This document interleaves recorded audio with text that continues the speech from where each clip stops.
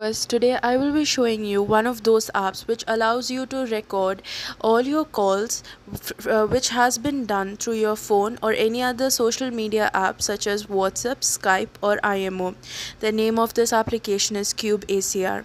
So first we go into Play Store and install the application known as Call Recorder Cube ACR. Once the installation has been done, we open the app, which then asks for many of the permissions.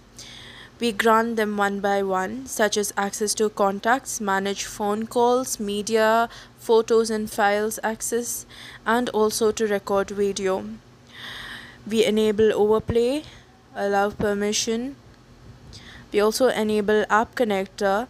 So first we go into install services, CubeACR app connector, and we switch it on. We uh, the one thing that we ignore is battery distance let me take you to IMO